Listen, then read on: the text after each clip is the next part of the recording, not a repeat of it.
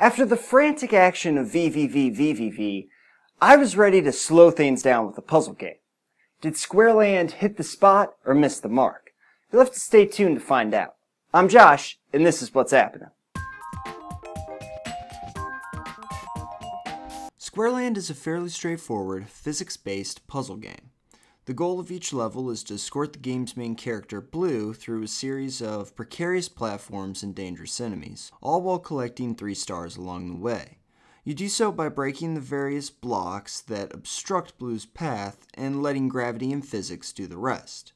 The game has a wide variety of enemies, obstacles, and block types that all interact in different ways.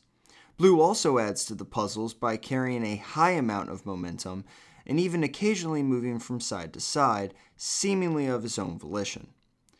Timing even starts to play a major role in later stages, with the player needing fast reflexes in order to get objects out of Blue's way before he crashes into them and loses his velocity.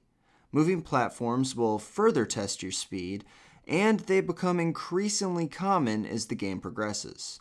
Squareland's obsession with speed is an interesting and deliberate design choice, encapsulated by the player's inability to scroll through stages. And that's where things started to fall apart for me. The first few stages of Squareland seem to be all about planning ahead. You break a couple of blocks, see how Blue reacts, and then demolish the rest of the stage before finally letting him do his thing. Not being able to scroll changes all of that. Instead of watching your carefully crafted machinations play out, the game devolves into frantic tapping. This wouldn't be so bad, in fact many games utilize a similar mechanic, but Squareland doesn't seem built for it. It becomes hard to see past your fingers to what lies ahead, and that makes you have to needlessly replay stages just to learn them. That wouldn't even be so bad if you weren't also fighting blue the entire time. Blue's movement is instrumental to completing the game's puzzles, but there seems to be no rhyme nor reason to the way he moves. Put him in the exact same situation 10 times, and he will react in four or five different ways. And that's the game's core mechanic. This is a puzzle game based entirely around an unknowable quantity. It makes Squareland more of a guessing game than anything else, and that in turn makes the experience extremely frustrating. It's a shame too because this game is extremely well polished. It has a fantastic soundtrack, a great art style, and well-designed levels, but the actual gameplay is severely lacking.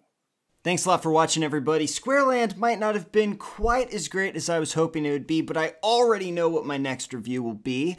So be sure to check in next next Thursday. Every other Thursday we do this show and I will bring another review to you. Subscribe if you haven't so you're sure not to miss one. And also check out some of the fun let's plays that we're doing on this channel as well. We're checking out a lot of cool Steam games, some stuff that was released on the 3DS Wii U. We've got Shovel Knight going on right now, 1001 Spikes, uh, Vita game as well on there. So it's a lot of fun on this channel. Be sure to check that stuff out. Subscribe if you haven't, like I said. But even if you don't, thanks again for watching this episode. And I will see you guys all again on the next Thursday that we meet.